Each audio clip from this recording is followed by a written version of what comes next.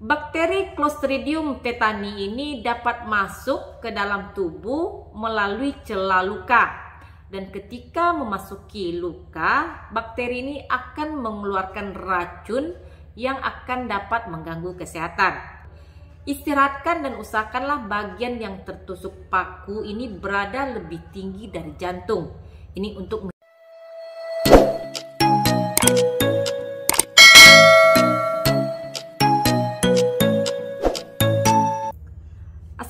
warahmatullahi wabarakatuh.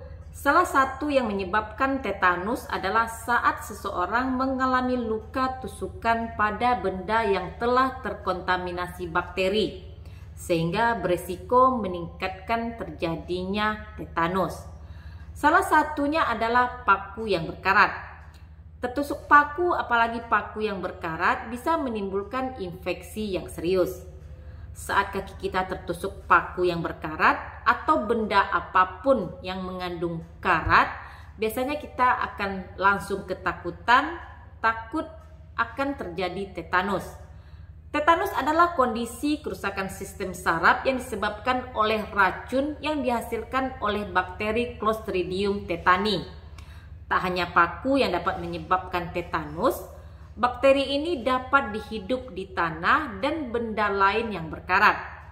Untuk itu, penggunaan alas kaki dalam kehidupan sehari-hari sangat diperlukan. Bakteri Clostridium tetani ini dapat masuk ke dalam tubuh melalui celah luka. Dan ketika memasuki luka, bakteri ini akan mengeluarkan racun yang akan dapat mengganggu kesehatan. Racun akan menyebar pada saraf tulang belakang hingga ke jaringan otak. Dan hal ini akan menyebabkan seseorang mengidap tetanus, akan mengalami kejang-kejang, dan yang paling parah ini dapat menimbulkan kematian. Selain itu, bakteri Clostridium tetani ini dapat juga hidup pada kotoran hewan. Jadi jika kamu memiliki hewan peliharaan, maka lakukanlah perawatan kesehatan maupun perawatan tubuh hewan tersebut agar kamu terhindar dari penularan. Dan gigitan hewan ini juga dapat menyebabkan kamu tertular tetanus. Maka jika kalian baru saja tertusuk paku berkarat, segera rawat luka tersebut agar tidak menjadi gerbang masuknya bakteri penyebab tetanus. Pertama adalah tetap tenang, bersikap tenang, jangan panik saat kalian tertusuk paku. Istirahatkan dan usahakanlah bagian yang tertusuk paku ini berada lebih tinggi dari jantung. Ini untuk menghindari perdarahan yang terjadi. Selanjutnya, kamu bisa mencabut paku yang tertusuk. Lakukan secara perlahan agar luka yang terjadi tidak bertambah parah.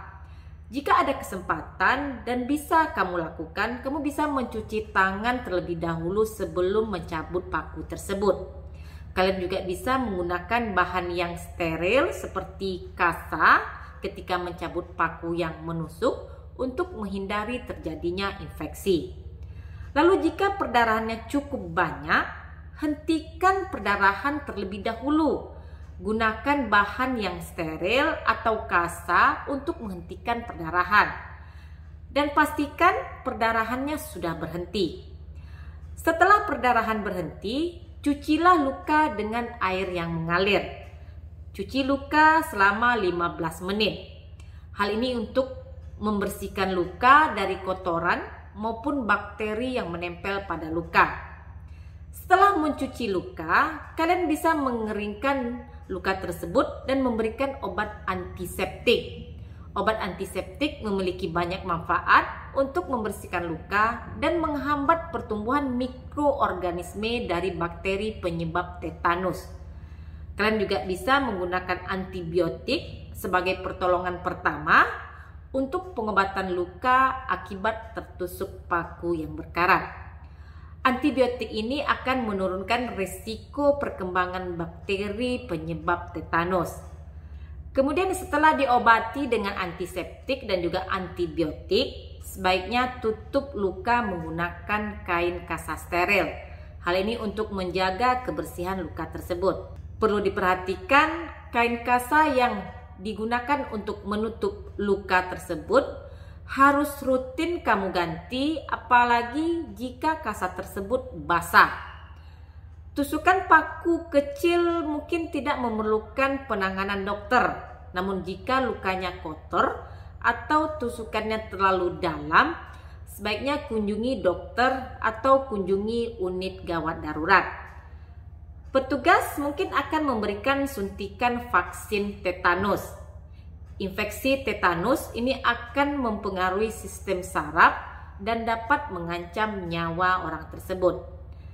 Tanda-tanda tetanus seperti kejang dan juga kekakuan pada otot rahang, leher kaku, sulit menelan, otot perut yang kaku, kejang tubuh yang berlangsung beberapa menit ini bisa menjadi patokan terjadinya tetanus.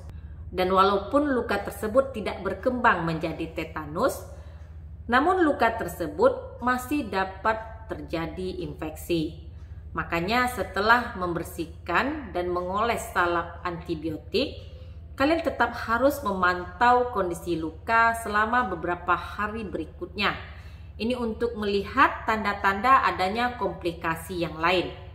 Infeksi kulit dapat berkembang paling cepat dua hari setelah menginjak paku. Dan jika cedera menyebabkan infeksi sendi atau tulang, maka gejala yang akan muncul dapat berlangsung dalam waktu 14 hari setelah cedera. Tanda-tanda infeksi bisa kamu rasakan seperti peningkatan rasa sakit, hangat dan kemerahan, tampak bengkak, dan keluarnya cairan nanah dari dalam luka. Kamu bisa mengalami demam dan juga menggigil. Segera temui dokter jika kamu mengalami gejala seperti tadi. Demikian video saya kali ini, semoga bermanfaat. Terima kasih sudah menonton. Jumpa lagi di video saya yang lain bersama saya Depi Febriani, perawat kamar bedah. Stay healthy. Assalamualaikum.